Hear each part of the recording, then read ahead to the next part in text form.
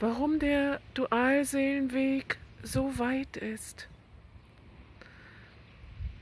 Auch ich wünsche mir nicht selten, ich könnte die Zeige der Uhr einige Runden vorandrehen, die Kalenderblätter abreißen, damit einfach das schon da ist, was vorherbestimmt ist und was mein Herz sich so ersehnt. Aber das funktioniert natürlich nicht. Und auch aus gutem Grunde nicht. Nicht nur, weil die irdische Dimension ihre unerbittlichen Gesetze hat, sondern auch, weil unsere Seele das gar nicht wirklich will.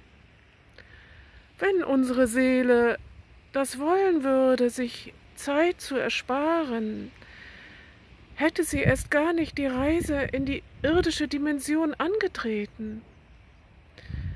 Dann wäre sie in den himmlischen Gefilden geblieben, wo es keine Zeit gibt und wo die Seligkeit permanent vorhanden ist. Aber offenbar wollten wir dieses Abenteuer Erde erleben im Dienste Gottes und auch aus Abenteuerlust. Ja, Gott möchte sich durch uns erfahren. Wir sind ein Teil von ihm, wir sind seine Gesandten. Und wir wussten, im Großen und Ganzen, worauf wir uns einlassen würden, dass es eben nicht leicht werden würde, dass wir auch Geduldsproben würden bestehen müssen. Und könnte es eine größere Geduldsprobe geben als den Dualseelenprozess? Also, wenn man das Ganze aus dieser Sicht betrachtet, wird es schon viel harmonischer und das Ego verliert an Stimmkraft. Es verliert seine Macht, unsere Seele zu überstimmen mit seinem Gequengel. Ich will das aber jetzt und ich bin doch schon so alt und wer weiß, wie viele Tage uns da noch bleiben und all meine Freundinnen sind glücklich verheiratet, nur ich bin allein und so weiter und so fort. Was das Ego so alles parat hat an Argumenten, die im ersten Moment auch so überzeugend klingen. Wenn man aber tiefer schaut, dann haben die keinen Bestand. Wir sind in ewiger Bewegung, so wie das wunderbare Mittelmeer in meinem Rücken. Auf und ab der Wellen und das Meer erfüllt sich selbst daran, in dieser innigen Bewegung und so ein Vorwärts gibt es eigentlich gar nicht. Es ist ein Schwingen, genauso wie unsere Seele schwingt. Und all unsere Entwicklung, ja, ist im Grunde auch nur eine Bewegung dorthin, wo wir schon mal waren.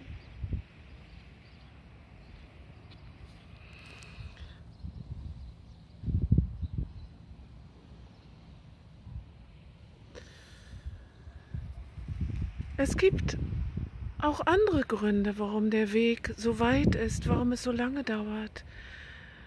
Und das ist, weil wir so unglaublich viel auflösen auf dieser Strecke.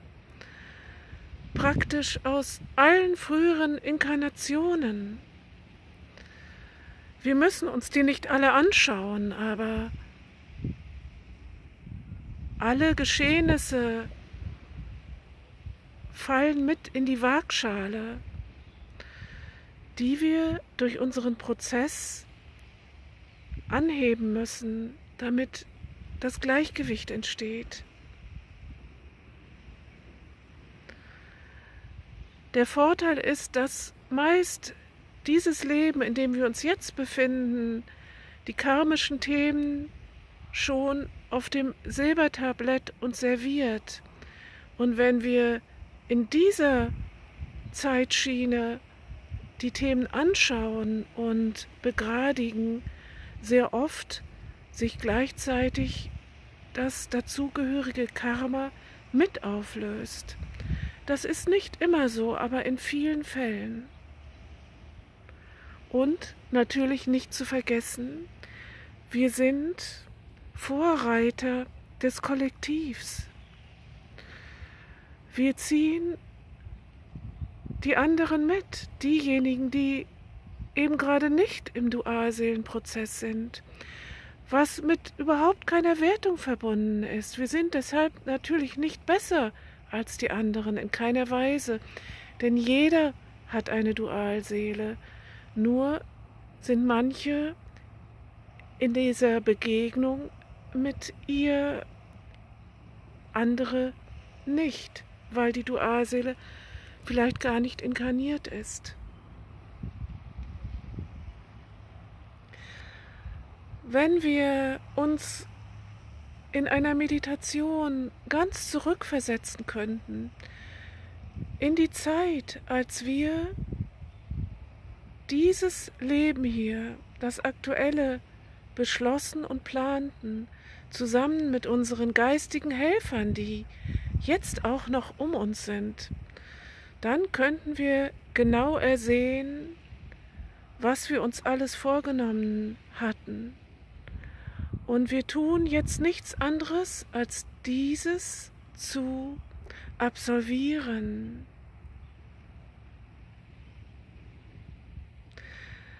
Es geht nur darum, an dieses tiefe Wissen heranzukommen, um sich bewusst zu machen, wie sehr alles im Einklang mit unserer Seele ist.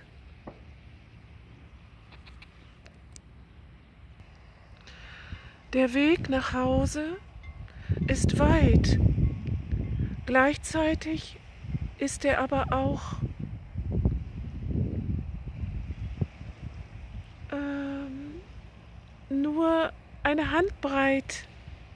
Ja, gleichzeitig ist unser Zuhause nur eine Handbreit von uns entfernt. Das habt ihr sicher auch schon erlebt, dass ihr plötzlich das Gefühl hattet, ja, ich bin zu Hause. Das ist uns ganz nahe. Nur es als Dauerzustand zu erwerben, dieses Gefühl, das ist etwas schwerer zu erreichen. Wir können aber eine Ahnung davon haben, einen Vorgeschmack. Wir können das auch unterstützen, wenn wir zum Beispiel so schöne Dinge machen, wie ans Meer zu fahren, wie ich es heute Morgen einfach ganz spontan gemacht habe.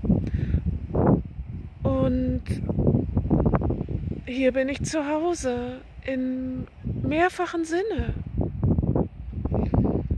wenn ich das Meer auch betrachte als Sinnbild der göttlichen Mutter, als große Gebärmutter, aus der wir alle entsprungen sind.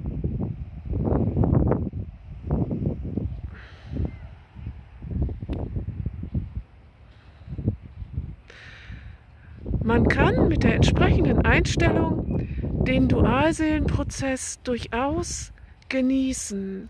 Und zwar immer, selbst wenn er gerade weh tut. Denn auch dieser Schmerz ist ein Zeichen dafür, dass wir lebendig sind. Und genau das ist es, was wir sein wollen. Wir wollen diesen Körper haben. Wir wollen in der Materie sein, in der alles träge ist und Veränderung nur allmählich vonstatten geht. Aber wir lieben die Erde. Wir haben uns dafür entschieden. Und wer möchte schon die Schokoladentorte sofort auf dem Tisch haben, wenn er sich auch noch äh, zwei Stunden darauf freuen kann, weil sie noch im Ofen ist, aber schon duftet. Das gehört alles dazu.